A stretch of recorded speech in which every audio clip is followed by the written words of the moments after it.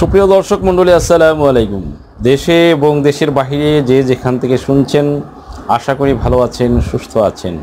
আমি অ্যাডভোকেট মোহাম্মদ বেলায়েত হোসেন। আমার আইন বিষয়ক চ্যানেল লিগ্যাল নলেজে আপনাদের সবাইকে জানাই সুস্বাগতম। ভিউয়ার্স লিগ্যাল নলেজ বেসিক্যালি একটি অলাভজনক আইনি সেবা প্রদানকারী চ্যানেল। এই চ্যানেলের মূল মিশন এবং ভীষণ হলো আইনি পরামর্শ সাধারণ মানুষের কাছে পৌঁছে দেওয়া। ভিউয়ার্স লিগ্যাল নলেজের ধারাবাহিক আলোচনায় আজকে যে টপিকটি নিয়ে আলোচনা করছি, তা হলো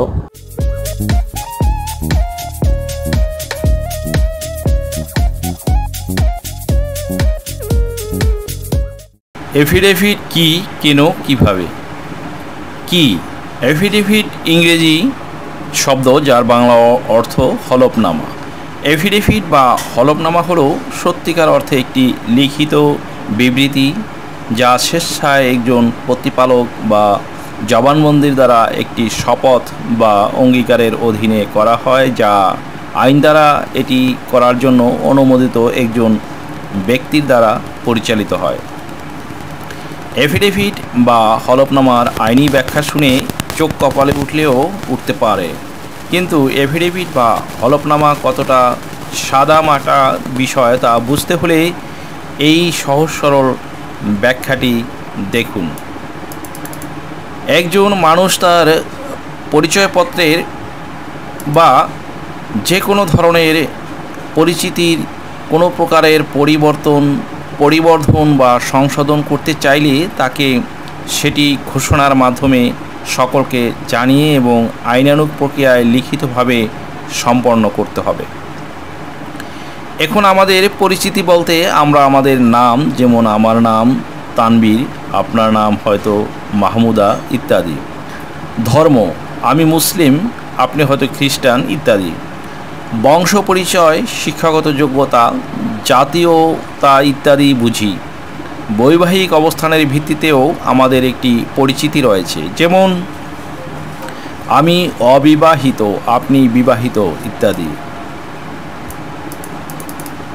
এখন আমি বা আপনি যদি আমাদের এই পরিচিতিগুলোর কোনো পরিবর্তন, পরিবর্ধন বা সংশোধন করতে চাই, তাহলে সেটি শুধু মনে মনে বা মুখে মুখে করলে হবে না।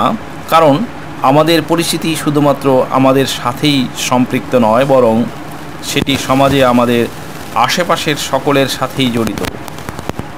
তাই সেটি লিখিতভাবে আইনানুগ প্রক্রিয়ার ঘোষণা দিতে হবে যাতে সকলেই অবগত থাকে এবং আমিও আমার এই পরিবর্তিত বা পরিবর্ধিত বা সংশোধিত পরিচয় বহন করতে এবং ব্যবহার করতে পারি। আরও সহজ করে যদি বলা যায়, পরিচিতির যে বিষয়গুলো পরিবর্তনযোগ্য, সেগুলোর কোনো পরিবর্তন করা হলে সেটি মৌখিকভাবে না করে লিখিতভাবে আইনানুগ প্রক্রিয়া সম্পন্ন করার প্রক্রিয়াটিকেই আমরা অ্যাফিডেভিট বা হলফনামা বলে থাকি। যে বিষয়টি পরিবর্তনযোগ্য নয়, সেই বিষয়গুলো এফিডেভিট বা হলম, হলফনামা করেও পরিবর্তন করা সম্ভব নয়। এবার আলোচনা করব এফিডেভিট কেন? আগেই বলেছি, নাম পরিচয়, বংশ, ধর্ম, শিক্ষা, বৈবাহিক অবস্থানসহ পরিবর্তনযোগ্য বিষয়গুলো পরিবর্তন করতে হয় এফিডেভিট বা হলফনামার মাধ্যমে। তো সবচেয়ে বেশি যে বিষয়ে এফিডেভিট বা হলফনামা হয়ে থাকে তা হলো পরিচয়পত্র বা সার্টিফিকেটে নাম সংশোধনের জন্য। এখানে নাম বলতে শুধু নিজের নাম নয় পিতা মাতার নাম পরিবর্তনও সম্ভব। কিন্তু বয়স পরিবর্তন সাধারণত এফিডেভিট দিয়ে সম্ভব নয়। উল্লেখ্য, নাম পরিবর্তন সংশোধনের সময় এফিডেভিট করার পর আবার জাতীয় পত্রিকায় বিজ্ঞপ্তি আকারে প্রচার করতে হবে, যা অন্যান্য অ্যাফিডেভিটের ক্ষেত্রে প্রয়োজনীয় নয়। স্থাবর সম্পত্তি তথা জমি জমা ক্রয় বিক্রয়ের সময় দলিল সম্পন্নের পাশাপাশি জমি ক্রয় বিক্রয়ের সময় জমি বিক্রয়ের বিষয়টি ঘোষণা দেওয়ার জন্য এফিডেভিট করতে হয়।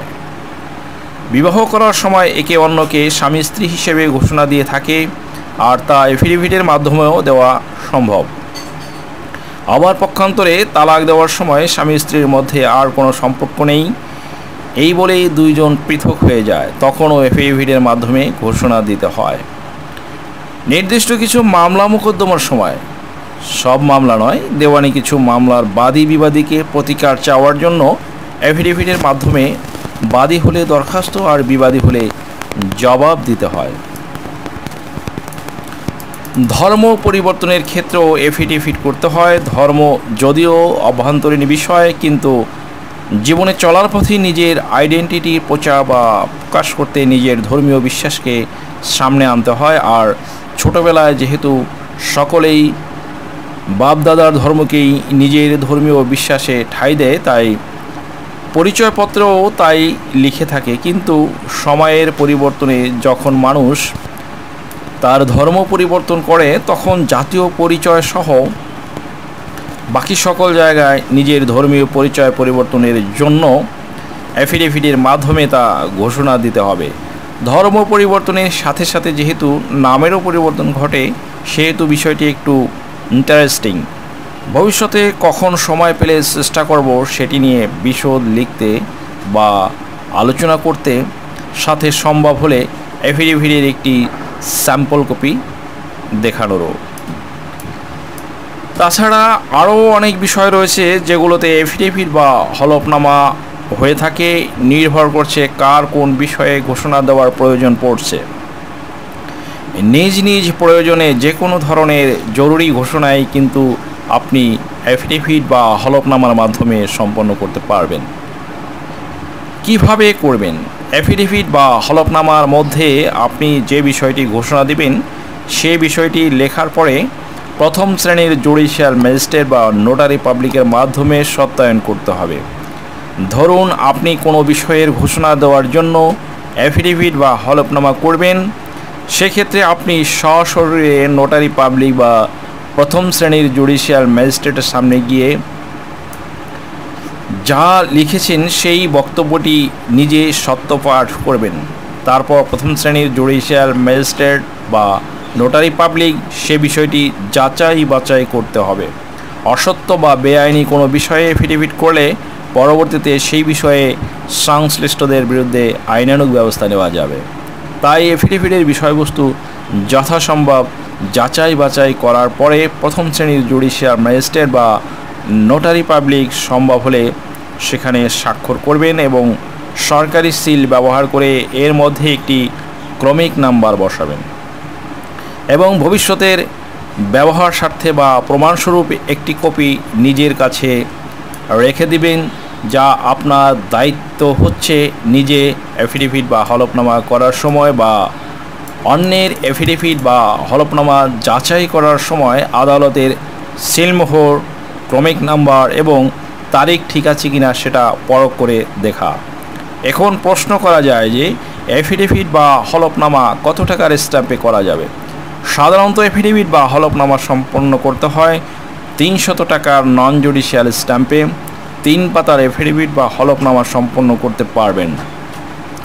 মোট কথা শুধু মাথা রাখতে হবে, যত পৃষ্ঠায় হোক, সব মিলিয়ে অ্যাফিডেভিট বা হলফনামাটি যেন তিনশত টাকার স্ট্যাম্পে পরিণত হয়। তবে বিবাহ বিচ্ছেদের ক্ষেত্রে তিনশত টাকার স্ট্যাম্পের পরিবর্তে পাঁচশত টাকার নন জুডিশিয়াল স্ট্যাম্পে এফিডেভিট বা হলফনামা করতে হবে।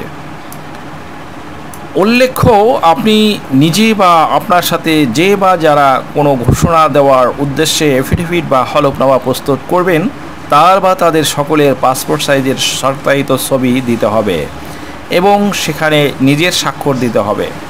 এফিডেভিট বা হলফনামাতে একজন আইনজীবীর মাধ্যমে শনাক্ত করতে হবে, যেখানে আইনজীবীকে আইনজীবী সমিতির সদস্য নাম্বার স্বাক্ষর দেওয়ার পাশাপাশি আইনজীবীর সামনেই এই এফিডেভিট বা হলফনামা সম্পন্ন হয়েছে বলে উল্লেখ করতে হবে। সুপ্রিয় দর্শক মণ্ডলী, ভিডিও থেকে আশা করি নিশ্চয়ই কিছুটা হলেও উপকৃত হয়েছেন। যদি ভিডিওটি ভালো লাগে, তাহলে লাইক শেয়ার কমেন্টস এবং সাবস্ক্রাইব করে পাশে থাকা বেল আইকনটি প্রেস করে দিন যাতে পরবর্তী ভিডিওর নোটিফিকেশনটি সহজেই পেয়ে যান। সো আজকের মতো এখানে শেষ করছি। দেখা হবে অন্য কোনো দিন, অন্য কোনো ভিডিওতে অন্য কোনো আইনি কন্টেন্ট নিয়ে। সে পর্যন্ত সকলে ভালো থাকুন, সুস্থ থাকুন। আবারও সবাইকে ধন্যবাদ জানিয়ে এখানে শেষ করছি। আল্লাহ হাফিজ।